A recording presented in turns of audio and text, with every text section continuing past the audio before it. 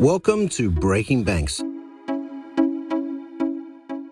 Welcome to Breaking Banks. I am Brett King, the host of the show. I guess you guys know me after all this time. Um, we are the number one global fintech radio show and podcast. Joining me in the co host hot seat tonight is, or today, rather, I've got to be careful saying that. I'm, uh, I'm actually in Thailand doing the show at the moment. Everyone else is uh, in, uh, in, in a much more respectable time zone. Um, but uh, yeah, joining me as co-host today is Dr. Leda Glyptis. Leda is the Chief Client Officer for 10x Future Technologies and a leading voice in the financial services industry and a friend of the show. Welcome back, Leda. Always good to be here. Thank you for having me. Where are you today? I'm in London and it's sunny and misleading and glorious. misleading. it's misleading. I've had a bunch of calls with uh, Australians, your, your, your fellow Aussies, early this morning, and they're all like, "Where are you?" I'm in I'm in London on a rare sunny day. It is misleading, um, but uh, I, I, think, um, having said that, London is very pretty when when the sun comes out. You know, especially down at Hyde Park or something like that, right? That it is. And uh, also joining us is Vincent uh, Bezemer. He's the head of uh, strategy North America with Backbase, where he leads strategy execution and corresponding sales initiatives, focusing on building exceptional teams, operational excellence, and industry alliance and partnerships. Vincent, welcome to the show. Yeah, thanks, Brad. Thanks for having me. And joining us from Jumio is Ryan Halstead, Vice President Sales for North America. And uh, Jumio is on a mission, and he's on a mission um, to help companies prosper by reducing cost and complexity, increasing visibility, and improving operations. So, Ryan, welcome to the show. Yes, thank you so much, Brett. Very excited to be here. You've been on the show before, haven't you, Ryan? I know Jumio's done a few shows, but Jumio has before. Yes, I have not. This you have not. Okay. All right. Well, welcome to the show. Thank you so um, much.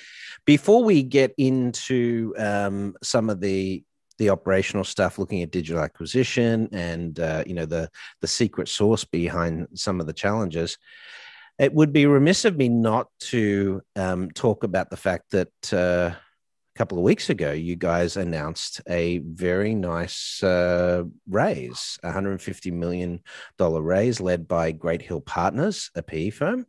Um, that's fantastic news.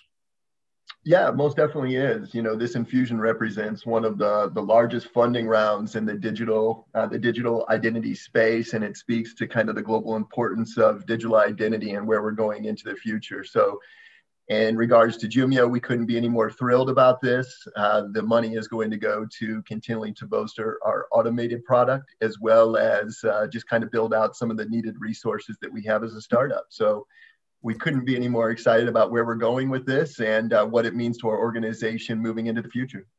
So you you I mean, is this going to be opening new offices? Um, is it going to be uh, mainly hiring?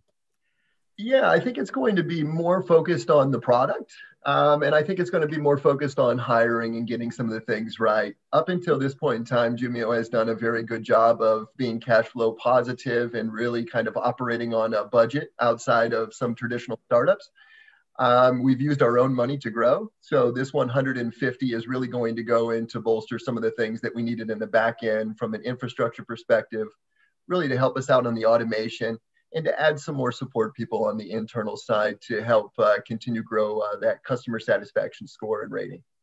Now, are you guys, um, you know, starting to get people coming back in the office, or are you still mostly working from home? Yeah, most of us are still working from home at this point in time. Uh, the Palo Alto office has uh, probably three or four people in it during the week. Uh, the London office has three or four people it, people in it during the week as well, and our Singapore office is about the same we tend to rotate in and out, but uh, at this point in time, a majority of Jumio is still working remotely. Fair enough. And um, Leda, what are you you finding? Are people starting to get back into offices in London? Um, slowly but surely. So we have a, a, a, military grade operation that disinfects the office after everyone has been in. A, an incredible system of, of, of signs that mark the desks that have been touched, and then Ghostbusters who come in and disinfect everything. And with appropriate uh, distancing and all the rest of it, the office has been open since the schools reopened in the UK. And I'm finding that people are really craving the normality of going back. But of course, we're discouraging people from having in person meetings, definitely of more than a couple of people. And that's the thing that most of us, myself included, crave the most the right. fact that you want to collaborate. We have calls with our colleagues in Australia who are sitting next to each other like normal people who are sitting across the room from the client and they're turning the camera around. You're like, oh, I'm so jealous of you being in an office. I never thought I'd say that, but it's true. Yeah. Yeah. What about you, Vincent? Um, I know you're in a satellite office. You're in the US office, not in the uh, Amsterdam um, head office. But what's it like at Backbase right now? Well, it's a little bit the same for us. We uh, all crave the social part. I think we can't wait until we can hit the road again and meet people and build trust and relationships that way. But our systems have always been in the cloud. Um, so, you know, us moving to home offices was very frictionless, if you will. Um, and I think we all did really well. But a year in, I think people need each other and people need to feed off of each other. And I think that that's where the amazing, you know, um, uh, innovation happens and, and, and collaboration happens. And I think you cannot sustain a business without going without that for too long. So I think we're all ready to go uh, to go back. But we have offices all over the world, and uh, and we do kind of the same thing. Just a few people in there at once, um, and make sure that we are adhering to all the local guidelines and policies. Of course, it feels like it's starting to build momentum towards coming back, though. So that's uh, that's good. Well, let's dive uh, let's dive right in.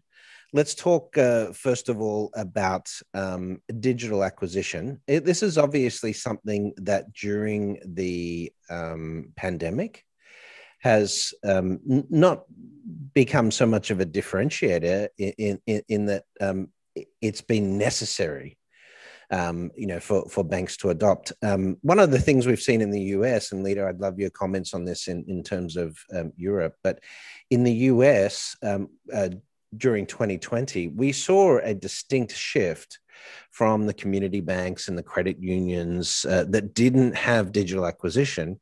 And we actually saw market share shift to either the larger banks or um, you know the uh, the challengers who've done very well during the pandemic in terms of growth because they were able to onboard new customers um, digitally, and so th- there's a you know there's very clear um, you know, market stats now sort of showing that sort of digitization effect.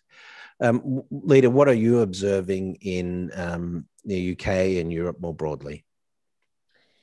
Exactly what you're describing, and we've seen it happen in three waves.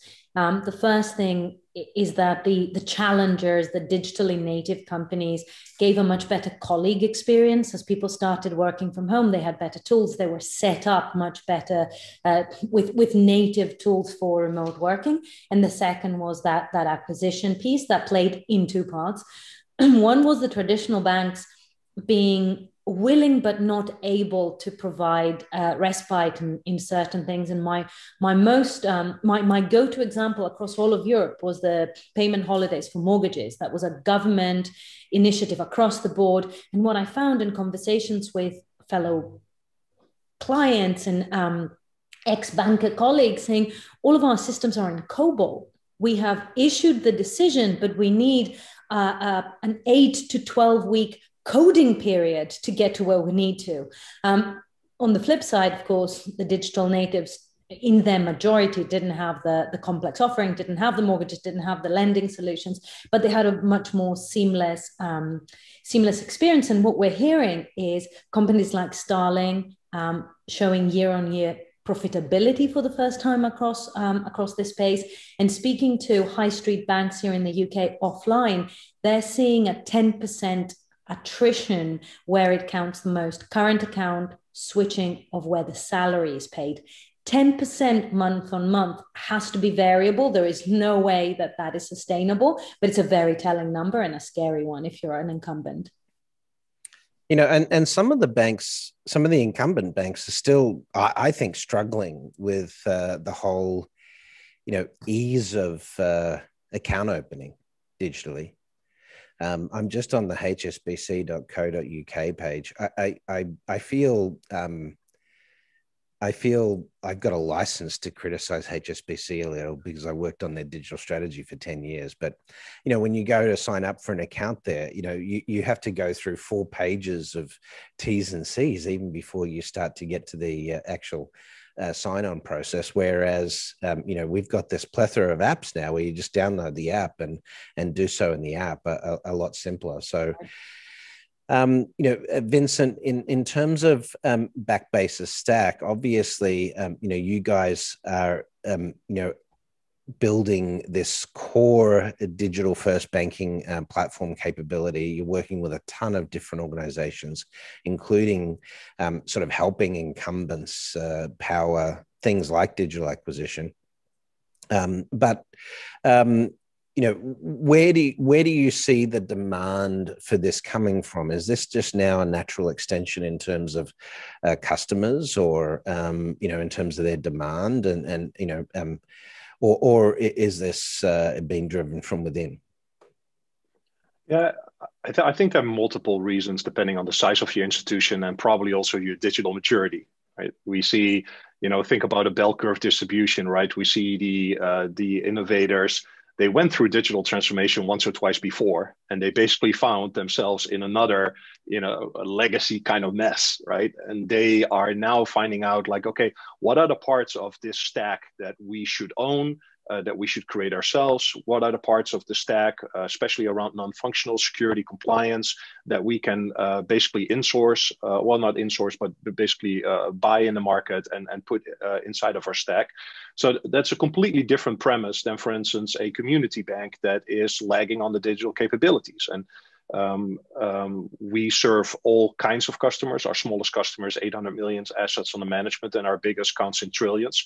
Um, so, so we have a unique perspective on how can you create a platform first notion um, that uh, where for all the major points like who owns the customer who owns the ledger who owns the experience who owns the security that you can really assemble this kind of um, you know best in breed uh, architecture these these partners for instance and that's why we're so excited to partner with Jumio because their digital identity solution is is something that is amazing that we can just simply embrace and we can bring to market really live on our digital engagement banking platform Ryan, um, that's a, a great uh, sales pitch on behalf of uh, Jumio. But um, you know, for you guys, uh, w- when you go to a potential bank or a potential client, um, what, what's the primary business case you put forward in terms of um, you know Jumio's capability, particularly you know digital onboarding?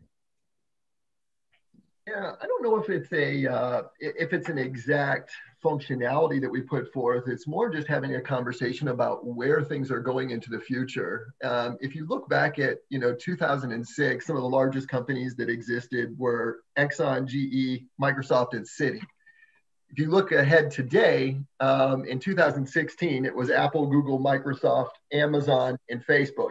Right. These are the real challengers in my eyes. So they're able to keep up very, very quickly with the technology. They have the technology to onboard the folks.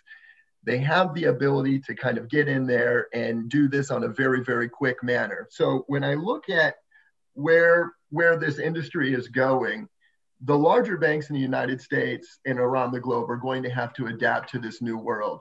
They're going to start seeing uh, competitors coming from multiple different spaces, not just the neo banks, but also the large technical providers. Um, if you look at Apple Pay, if you look at some of these other other um, companies, I know that Home Depot just came out with uh, um, Home Depot loans, I believe it was. So everyone is really starting to enter this space, and it's going to become very, very important that the traditional banks um, try to differentiate themselves more in a way that some of these neo banks or these challenger banks are doing that. And that's where, like I said, uh, where what Vincent said, this is where Backbase and Jumio really collaborate very well together. So we're helping some of those challengers, we're helping some of those smaller mid-tier banks come up and start to play in some of the larger spaces. Um, I'll, I'll, open this question up to all of you guys um, and just give me your thoughts. For, for a customer looking for a new bank account during the pandemic, or finding frustration with the um, you know the the slow digitization of their bank and finding that they just couldn't do some things because they were restricted to having to go to the branch to do something and the branch wasn't open for example um, you know with with with challenges uh, you know in in Europe and and so forth uh, growing do you think that that um, you know the first glimpse of the organization through the onboarding process is actually something that drives them to completion? Um, you know that that simplicity piece of it is, sort of like oh well that was easy. You know is that is that a big part of you know now sort of the defining digital experience?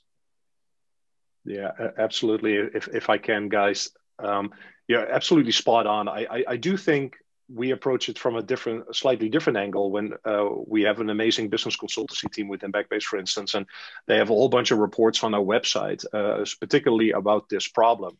But we see is like for any task that you are about to embark on, there is a certain amount of energy you want to spend on it, and the moment that that energy limit is uh, is is broken, you're checking out and it doesn't matter how far you are in the process you're just like ah man this is this is too much. It's just and you just drop yeah. everything right? So what, what you have to do is obviously you have to take somebody on this kind of proverbial journey um, where uh, the customer in each step sees or the potential customer each step sees what the value is they're going to get out of it right? So whether that is conversational style onboarding or whether it is you know highly technical or maybe in phases uh, uh, over over time um, it, it, there's been some really interesting research on it, and and we can see that one, it's the time spent, effort spent. Second, it's also what is my ability to customize? Like, is the bank or the credit union pushing me into their model, or am I myself? Can I uh, customize my product? Uh, can I, um, you know, forego certain elements for to obtain a better rate, or can I um, uh, choose to use technology uh, that removes the friction out of a typical, a typical onboarding process? And the, the the third part, and this is probably the scariest part, uh, a lot of institutions have a lot of reasons to say no and not do it, right? Not right. being customer focused and not removing the friction out there. And it's kind of hard, you know. I, I obviously uh, virtually I'm in a lot of boardroom sessions, and you literally hear people saying, "We have never had these many customers. We have never had this high of deposits. Why should we do digital?" You know that is still a voice that you hear and and you have to slash that. You have to think in a different operating or execution model uh, to really start understanding that uh, the question you posed brad that it's it's about friction it's about uh, giving instantaneous value and it's about mass customization if you if you will. And if you don't do that uh, to the previous point uh, some of these uh, these larger tech companies are going to eat your lunch I'm, I'm nodding vigorously as you speak, Vincent, and I, I, I don't know whether you have a great skincare regime or you're, you're very young, but if you are very young, you will not recognize what I'm about to say, but I think Brett and I will, will, will, will have the scars to prove it is true. Before we started talking about digital transformation, and we were just talking about transformation and modernization, the one thing that you'd be told every time you did a a planning session or a strategy session is leave the hairy beast alone. And the hairy beast was always onboarding. And it was agreed that it was the hairy beast you wouldn't take on, and you wouldn't take it on because it was too complex. But you would also not take it on because you knew that everybody was pretty much as bad as each other. And provided all the incumbents left the hairy beast alone, then yeah. you could cherry pick the sort of low hanging fruit. And then as the the challengers came in and showed us what is possible with user journeys, especially when they got the, the the sort of FCA stamp of approval in the UK and, and the and the the regulatory blessing in the rest of Europe. The art of the possible moved goalposts, but you still had that slight reservation on behalf of the consumer that allowed the incumbents to push the complexity of onboarding out um, the reality is not only do we know that it's possible not only does the regulator know it's both possible and actually best practice but we have i think as an industry underestimate the rapidly growing digital literacy of our consumers. Because it used to be that the people with the money don't really do digital and the younger generations are coming through the ranks slowly. Well a no they don't. Millennials are in their 40s and b my dad who's in his late 70s does all his banking online. And i think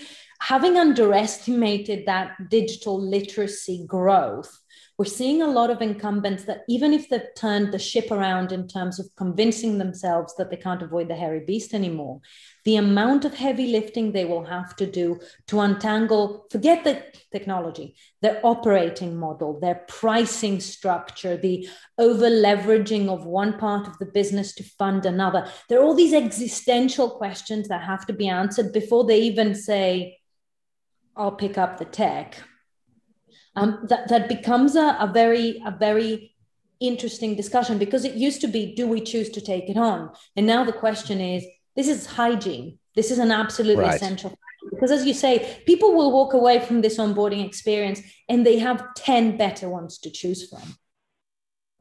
I, I, uh, brian you want to jump in yeah, you know, um, to, to Lydia's point, you know, 71% of millennials would rather go to the dentist than they would to a bank branch. We'll just kind of leave it there. I mean, it becomes so, so obnoxious to kind of go in and keep doing this. But I was at the dentist yesterday, by the way. Yeah. And I can confirm that that's still true. Yeah, the younger generations, you know, they grow, they have grown up in an always on, instantaneous, uh, you know, environment, and they, they they expect this. You know, you don't see for somebody to go in and open up a Facebook account and have to go into a branch to open a Facebook account or go in and wait two weeks to open up an Instagram account, that does not work for them. They're going to expect the same thing when it comes to their banking or their finances as things move forward. So the always on, the instantaneous, the ability to do everything from the mobile device is going to become more and more important as the younger generations come up and the older generations continue to adapt and, and learn on technology. But the, yeah, the, maybe sorry, go ahead, Vincent. Well, I, I, really feel triggered to to to to share two things that I've uh, that I've picked up in along the way uh, of my almost 25 years in customer experience now. Uh, so, Leda, it's it's it's probably my skincare routine, I guess. But um, need to give me some pointers afterwards. we will.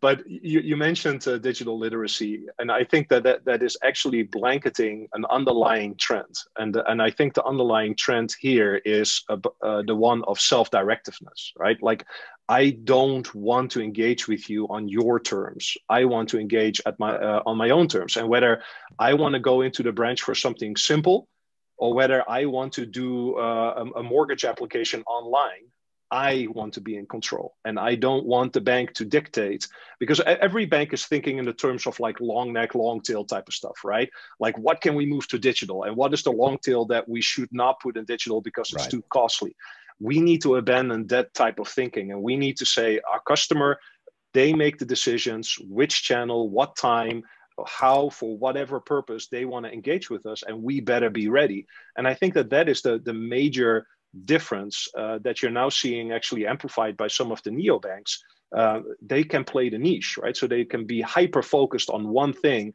and do it so well that both the long neck and the long is, uh, tail is completely digitized. But now do that for a full service bank, it's it's it, it's impossible, right? So channel fluidity, being able to move and choose your channels, uh, is, uh, is is is absolutely paramount. And and then you guys raised an amazing point: is well, okay, it's complex, yes, and my regulator has something to say about it, yes. And this is where half of the banks stop thinking, right? Because it's too complex. I don't want to rock the boat. This is my forever job. I don't want to get fired, you know, that type of stuff. And as long as you have those types of thinkers in your organization, you're not going to uh, uh, create this fist uh, to fend off the, the neobanks and or the tech players.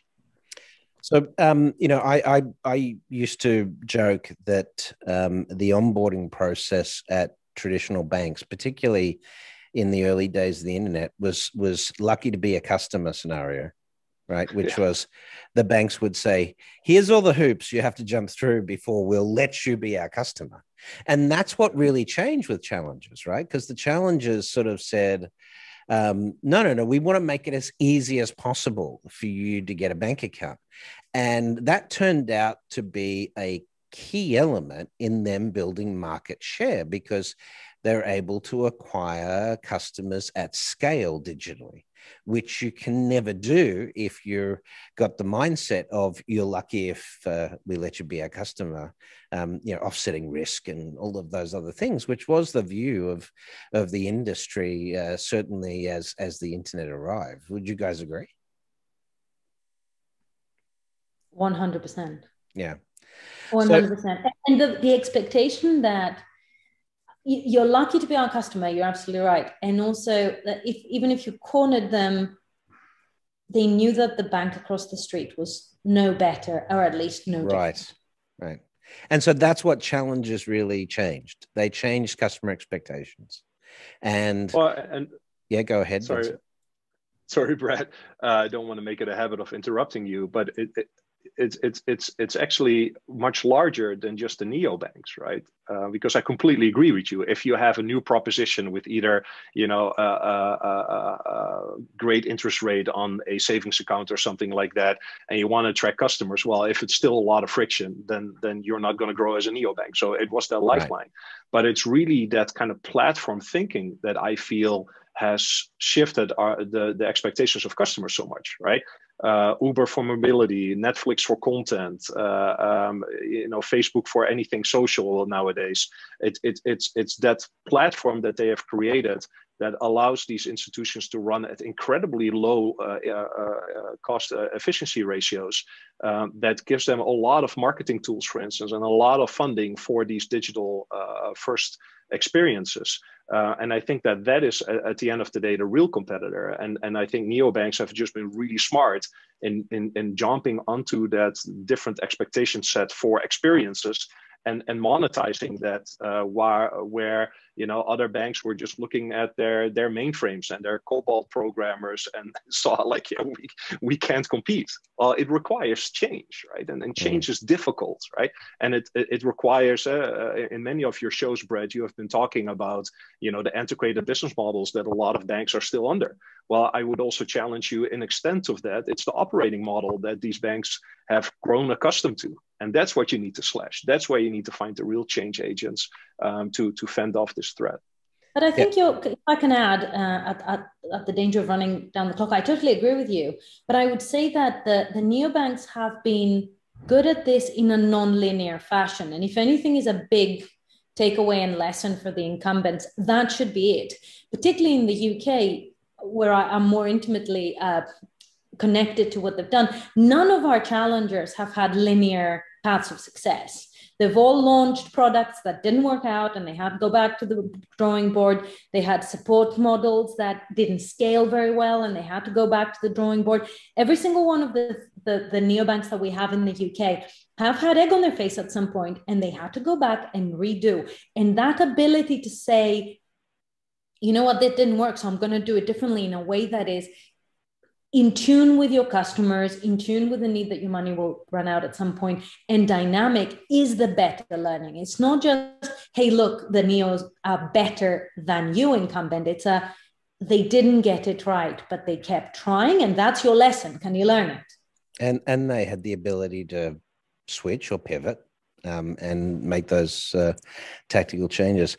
Hey guys, let's just take a quick break. Ryan, after the break, I'd like to talk about uh, you know the demands that have come on you guys uh, during COVID as a result of this shift towards digitization, and uh, maybe we can talk about uh, buy now pay later and some of these sort of micro experiences that are emerging as well. I think that'd be really interesting.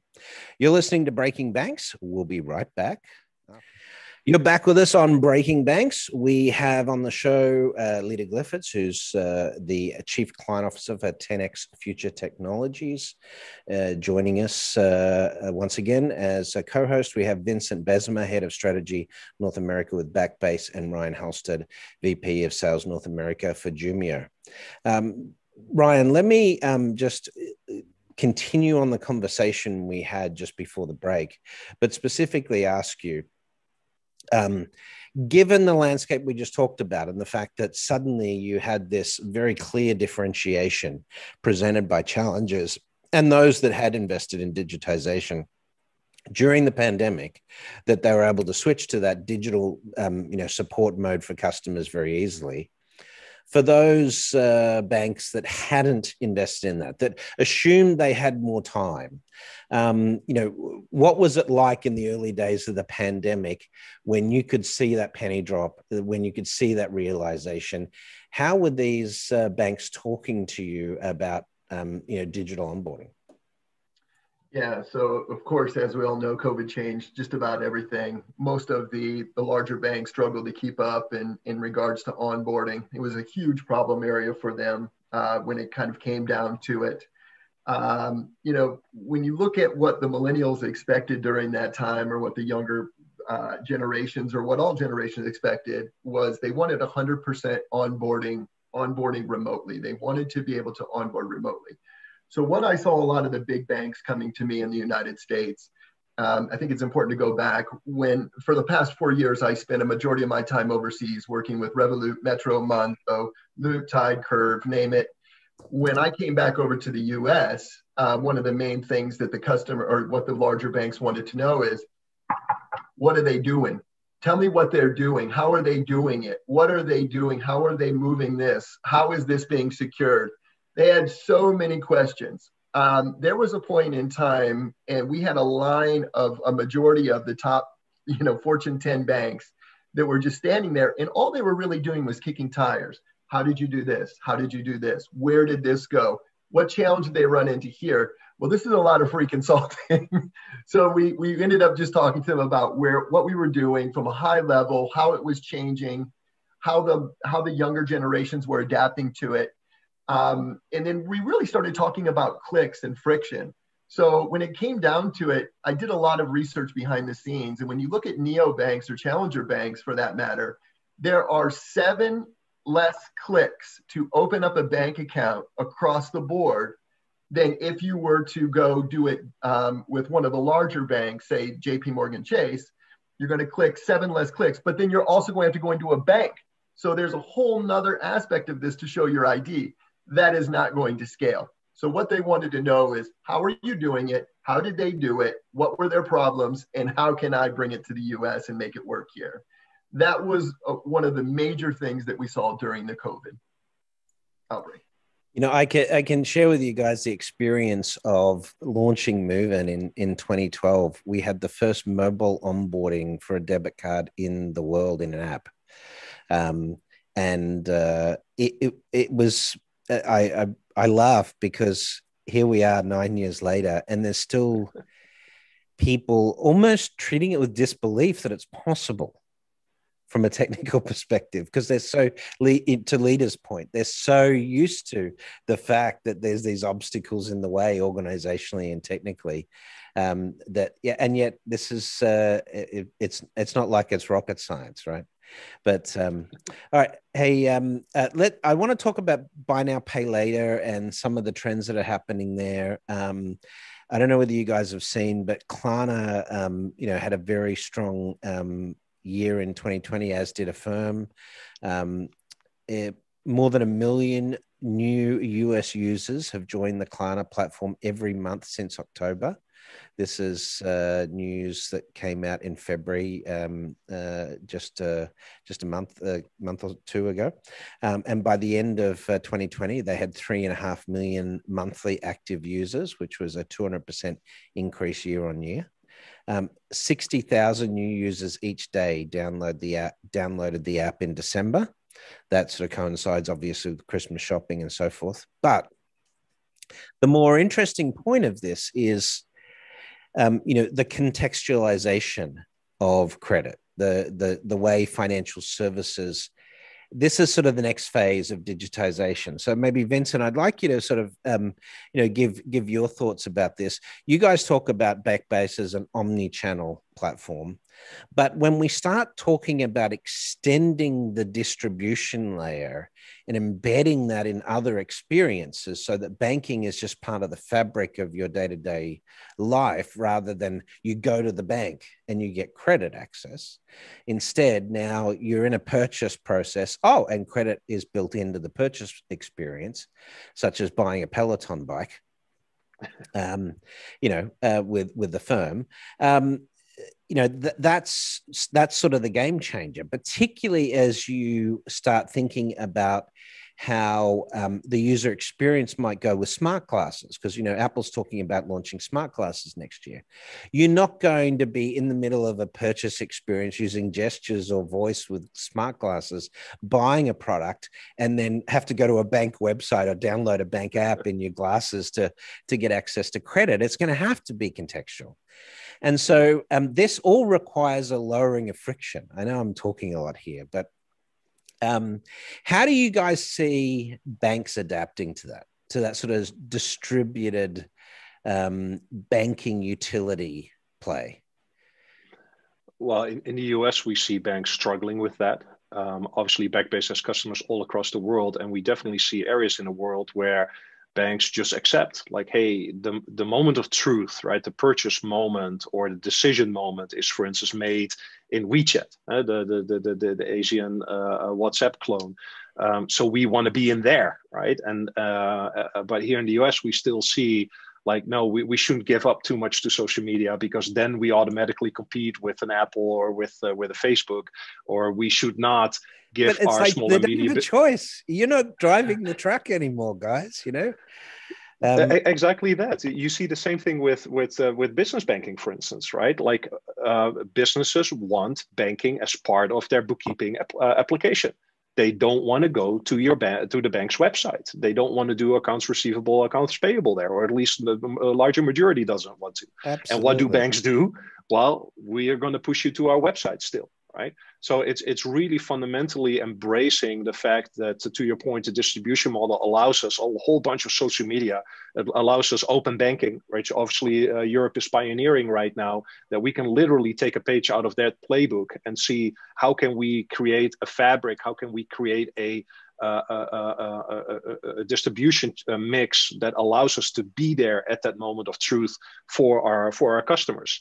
And uh, you see Amex trying to do it with Pay Later instead inside of their app. You see, uh, you know, Affirm. Uh, for us, it's it's really um, uh, in the boardrooms, we see two two types of customers, right? The ones that say, "Oh, yeah, we are organized in such a way we can adopt it real quickly," and and typically those are the larger organizations because they basically own their platform.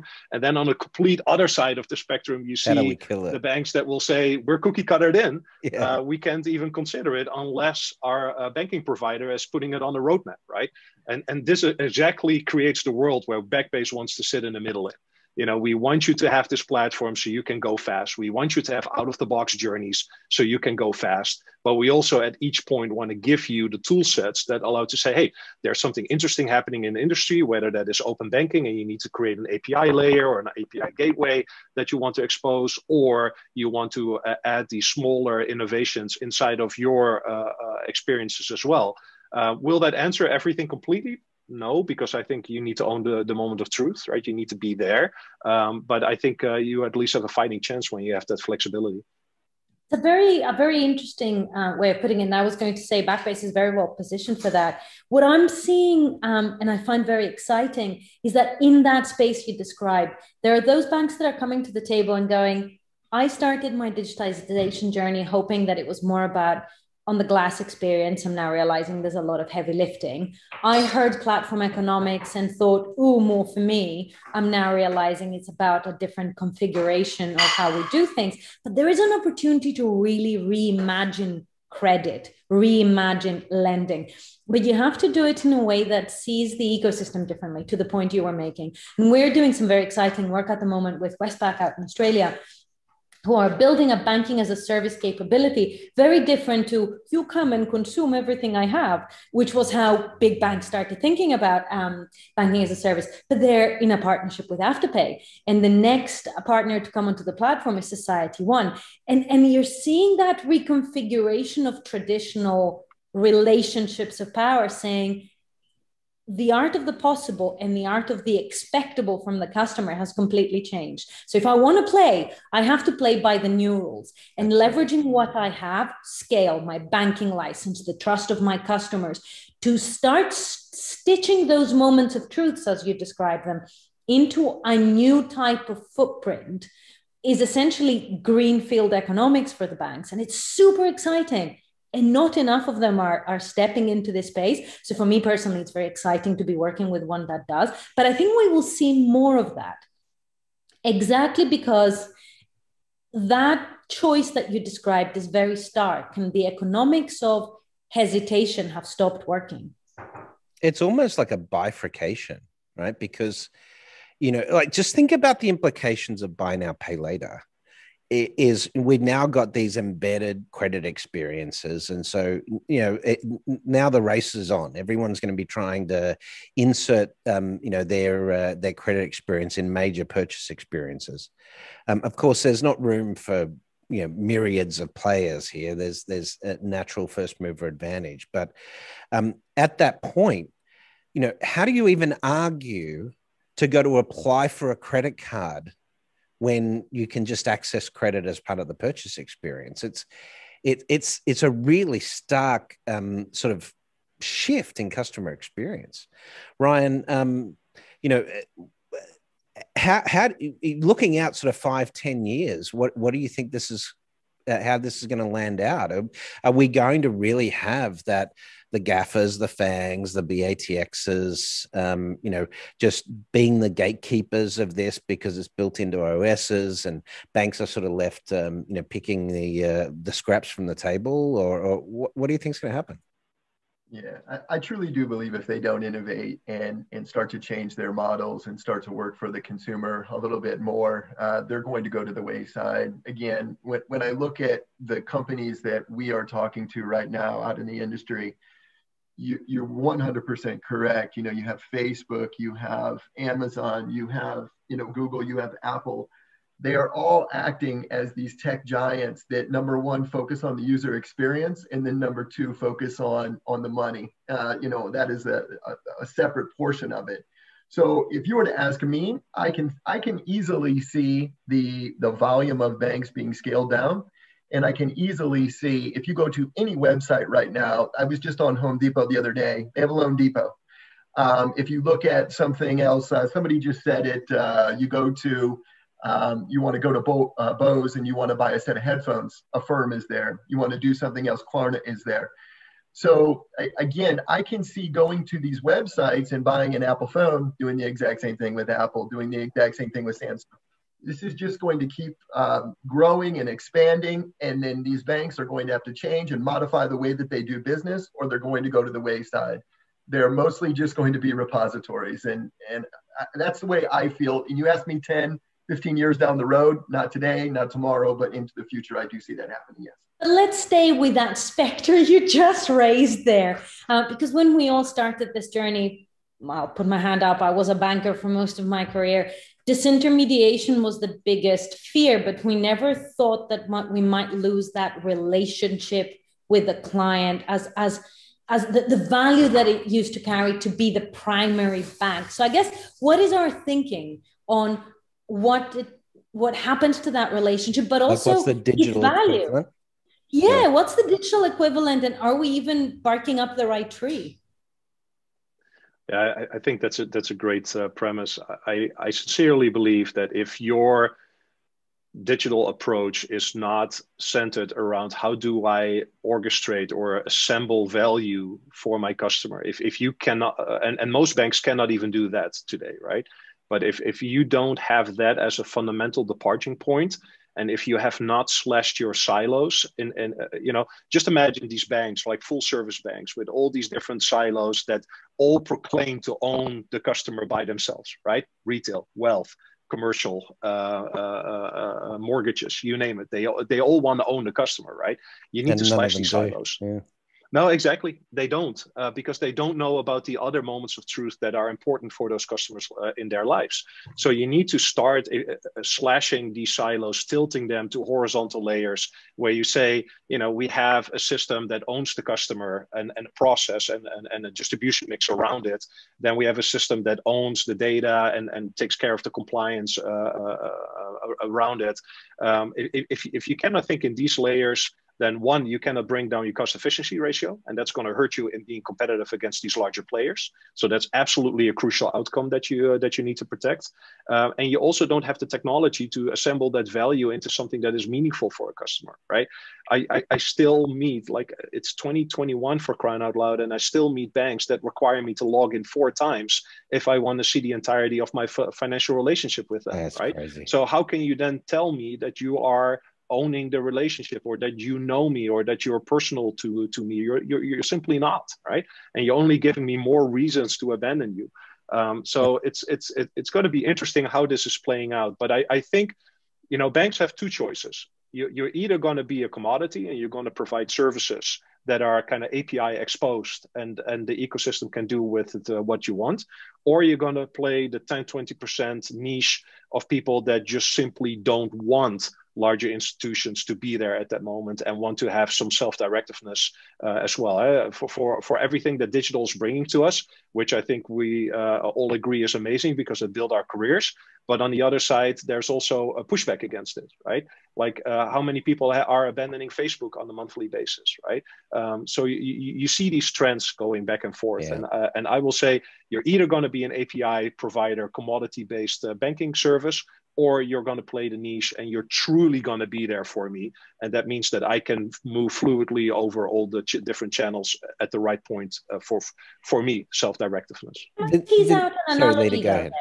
because I, I think there's a sorry to, to jump in there. I think there's a very valuable analogy um, there. And, and while you've been talking i've been chuckling to myself because the what you're describing is, is definitely the experience we've all had as consumers with big banks right? Not not just on the inside. But you you bring a different a very interesting analogy there. Um, you know people are moving away from facebook. Nobody is giving each other fish for their digital aquarium and throwing sheep at each other right? But our immersion into digital capabilities is getting deeper and deeper and deeper and our reliance and expectation that they will work that we will not arrange a cab for our teenager because they'll get an uber and they'll be safe that we can go on a rambling walk because we will we will have maps on our phone. I would say that we're no longer as superficial in our consumption of digital services but our reliance is getting deeper. What does that look like for the banks? And to be honest brett i'd love to hear your thought as well. Well, On- it- on what does that look you know, here's here's the thing is um, you know you've raised that vincent raised the cost efficiency when's the penny drop to the market? When the market says um, the way banks operate is inefficient um, and um, you know you, you've got to be able to acquire customers at scale and you've got to be integrated into their life in a different way. And the concept of going to a branch and signing a piece of paper to get access to a financial services product is just so far from economical in, in the world of digital that it's irrelevant. Um, that that's what amazes me is why is it why isn't the stock market analysts you know, putting the pressure, um, you know, holding the feet to the fire of of the bigger banks. Maybe it's just because there's not enough, um, you know, listed alternatives right at the moment. But um, undoubtedly, as the challenges IPO, then um, I think. Um, those core economics are changing. Hey, listen, guys, I, I'm mindful of the fact that we've only got a couple of minutes left, and Leda, we could go down the whole rabbit hole on, on, on, on that stuff as as we do when we get together. Um, but Ryan, um, uh, let let me just ask you um, this in terms of you know what Jumio's just taken this big uh, um, chunk of cash. Um, what do you guys hope to achieve over the next couple of years in, in terms of making a dent in helping banks, um, you know, uh, maintain their relevance? Yeah, I, I think that, um, you know, just educating them on how things are being done differently, educating them on, on where we see improvements in the marketplace, where we have, where we have made changes in the marketplace for the better. Um, even if you just look at interest rates or things of that nature that banks are throwing out, um, even the challenger banks are, are lower in that aspect because they don't have the overhead. They can offer more affordable rates across the board. Uh, the larger banks, they, they, again, they have a lot of overhead, so they have to build that in somewhere. The nice part about it is, is that, um, you know, I, I definitely see um, you know, Jumio continuing to educate, but also continuing to lead these banks into the future, continuing to show them how we've had success in other locations around the globe, and then also some of the advantages that the companies have taken taken taken advantage of, I guess, if you will. Uh, so I, we couldn't be more excited about the future for Jumio, where it's going. Digital identity is only growing, as you as you know. Um, the ability to know who your customer is online is only growing. Uh, and there are also a lot of innovative companies coming out, just like Backbase is, who's doing a lot of uh, a lot of innovation for the mid-tier uh, challenger banks, and Jumio's right there with them to help them support support those growth efforts. So, um, with this influx of cash, I can see us continuing to grow, but also continuing to optimize the way that people interact and work with their financial partners across the globe. Awesome, Vincent. Just quickly, um, you know, when when you were coming in and affecting this sort of change and you're um, you know uh, deploying backbase for a bank so they can get these capabilities how long does that take typically well it's getting faster and faster um, five years ago backbase was very much a toolkit a platform um, and that could uh, be implemented fast. It could also take multiple years. Right now we see for instance in uh, on average that retail banking is, is is done in less than six months so it's it's it's accelerating, and you're creating a library of reusable components, your core connection, your compliance, your your your caching, etc., that you can then apply to other lines of businesses as well. So you can move very fast. Uh, we helped uh, uh, a large country in Latin America uh, to release their COVID stimulus uh, checks in, in in less than 45 days of, of building, and they didn't have a digital footprint at all, right? So so we're getting better and better with our combination cool of platform Oh, absolutely. And it's super rewarding for everybody involved. And, and what is really amazing is that once you do those projects successfully, you can help the bank transform. And transformation doesn't happen overnight, it doesn't happen in a year, but uh, you can start, or uh, this is our advice if you abstract the customer experience away from your downstream systems and uh, and know that your vendor like backbase also has a process engine so that you can't uh, just put like lipstick on the pig but you can also uh, remove friction uh, out of the process. Then you're building a foundation that at least whatever the future is throwing at you you can at least be agile. You can at least be flexible and respond to uh, to all those uh, to to all the changes that are coming going to happen. And i, I do want to say you know disruption is is not a graduate process, right? It, it happens all of a sudden. Brett, to your point, when do the uh, uh, market analysts pick up on it, right? When is the first domino going to fall? Uh, because trust me, there are people that bought a cap medallion for $150,000 in New York and they did not imagine Absolutely. that Uber was stealing their lunch a year later, right? Um, and and and and um, uh, the, the only the, thing that we can say Sorry, there's, go ahead. Brett. No, no, no. We're going to wrap up because we're running out of time. But there's a lot of pigs with lipstick out there. I can tell you that. So, hey, uh, Leda, um, how can uh, people stay in touch with uh, your uh, musings on the industry and your writings? At Leda Glyptis on Twitter or LinkedIn, uh, and my uh, Leda Writes column is out every Thursday. Fantastic. And Ryan, um, where can we find out more about Jumio? Sure, you can just go to jumio.com. We're on Twitter as well, Facebook, uh, and also LinkedIn. Um, so we'd love to interact with anyone out there who would uh, love to learn more about digital identity. Awesome. And um, of course, Vincent, Backbase, Backbase. Same here. Uh, backbase.com. It also features a lot of interesting research that we have been doing with our partners. Uh, so if you need justification for changing business models, uh, you can definitely find us. Uh, also, our LinkedIn presence is uh, is, is quite uh, quite a good resource. Awesome. We'll try and tweet some of that research out as well for for the listeners. So, thank you guys. Uh, thank you, Ryan, for supporting us as a sponsor too for for Jumio and um, you know, Vincent and Leda. Thanks for joining us on the show once again. That's it for this week. If you like the show, make sure to give us a five star rating on your favorite podcast platform, or share it with a friend, or share it on social media. We'll see you again next week with more Breaking Banks.